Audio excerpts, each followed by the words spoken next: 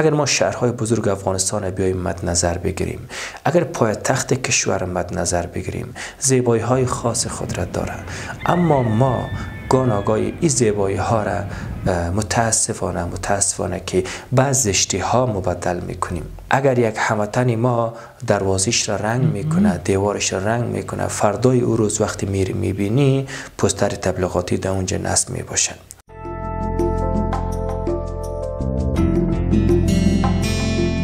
به نام یاد خدا بیننده های عزیز سلام بر شما. امیدوارم جور من سر حال باشین لباس عافیت بر تن داشته باشین. مقوله خیلی ها زیبا و ارزشمندی هست که میگن شهر ما خانه ماست. دقیقا. همین گونه که ما در خصوص حفظ و نگهداری و پاکی و صفایی و سترگی خانه خود تلاش داریم مطمئنن که شهر ما هم به مسابه خانه ما میمانه. بله همواره ما در خانه نمی باشیم مطمئنا وقت ما در شهر و بازار گشت و گذار می کنیم در واقع خانه دوم ما هست.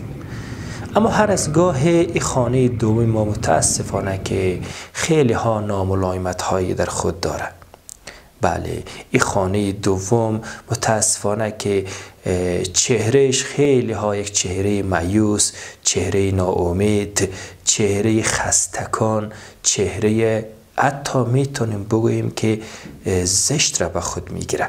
وطن ما خیلی ها زیبا هست. زیبایی های زیادی در وطن ما وجود داره. اگر ما شهرهای بزرگ افغانستان بیایم مد نظر بگیریم. اگر پایتخت کشور مد نظر بگیریم زیبایی های خاص خود را داره. اما ما گاناگای این زیبایی ها را متاسفانه متاسفانه که بعض زشتی ها مبدل می‌کنیم.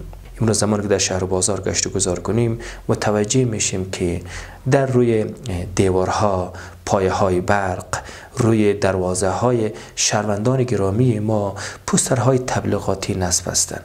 امروز برخی شهروندان گرامی ما که اگر تجارت می‌کنن اگر سایر برنامه های اجتماعی فرهنگی آموزشی و همچنان هر کسب و کاری را که دارن به نحوی می‌خواین اعلاناتشون را با شهروندان گرامی شریک بسازن متاسفانه که خیلی ها بیرحمانه میاین امو پوسترهای تبلیغاتیشون را در روی دروازه ها روی دیوارها و پایه های برق در بسیار از جاها متاسفانه که نصب می‌کنن خیلی ها متاسفانه که یک کاری ناپسند هست.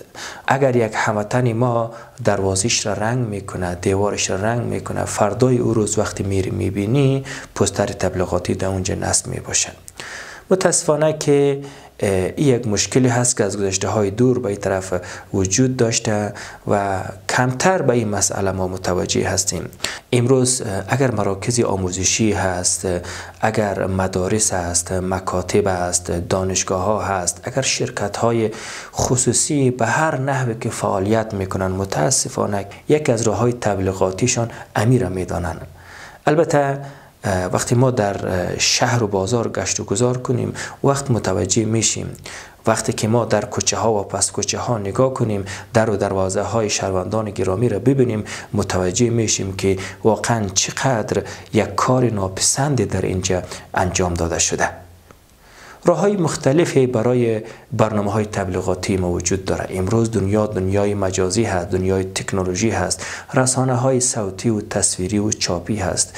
یعنی از منابع مختلفی می‌تونیم که بیایم تبلیغات خود را انجام بدیم. اما متاسفانه متاسفانه که این مسئله خیلی ها دست کم گرفته و بسیارم به شکل بیرویه بدون در نظر داشتی بدون اجازه صاحب خانه بدون ای که ما در این فکر باشیم که خب اینمی شهری ما اگر ما یک پای برق را پستر تبلیغاتی نصب می‌کنیم یا حتی در بعض موارد دیده شده استگاه ها استگاه ها سایبان ها اینا همه را می‌بینیم که پسترهای تبلیغاتی نصب شده.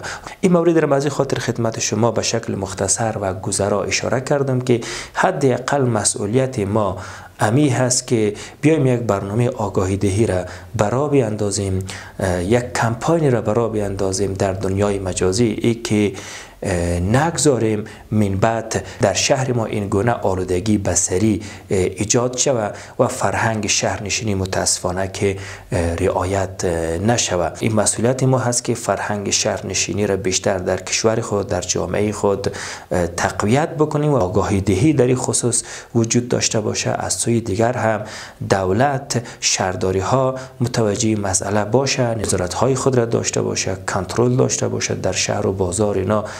خوب معلوم داره که آدرس های این نهادها مشخص است.